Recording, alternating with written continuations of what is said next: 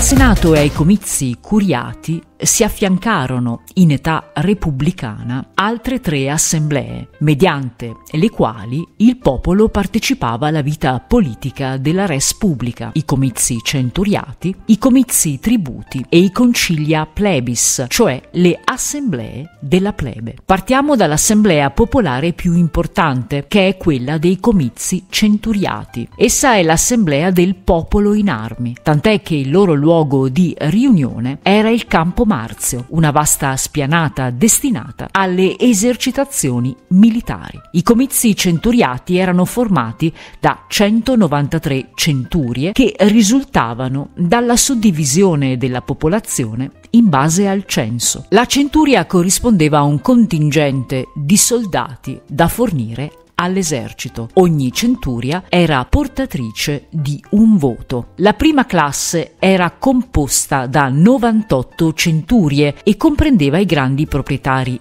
terrieri, per la maggior parte patrizi. La seconda ne contava 90 e includeva tutti coloro che potevano permettersi un cavallo, quindi in media i piccoli proprietari terrieri. Tutte le altre, infine, includevano gli strati medio-bassi e i più poveri, coloro cioè che potevano fornire 5 centurie di ausiliari, cioè di truppe di supporto, in genere composte da soldati a piedi. I meccanismi di voto privilegiavano i più ricchi, cioè la prima classe, per due ragioni. Innanzitutto essi votavano per primi. In secondo luogo, pur essendo inferiori numericamente, essi avevano la maggioranza delle centurie, cioè di unità di voto a disposizione. Quali erano le funzioni dei comizi centuriati? I comizi centuriati eleggevano i magistrati più importanti, cioè i consoli, i pretori e i censori. Prendevano decisioni di vitale importanza, come la dichiarazione di guerra e la conclusione di trattati di pace,